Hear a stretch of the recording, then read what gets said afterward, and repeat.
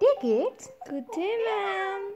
Today we are going to study about some more underwater creatures.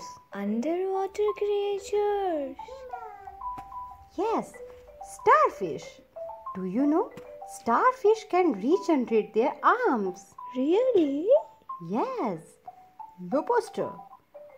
Fun fact about lobster lobster do not have brains. No brain. Yes. Its blood is gray in color. Not red.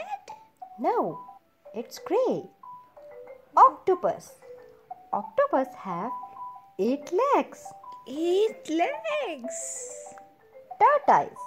Do you know? They can't swim, but tortoise can hold their breath for a long time.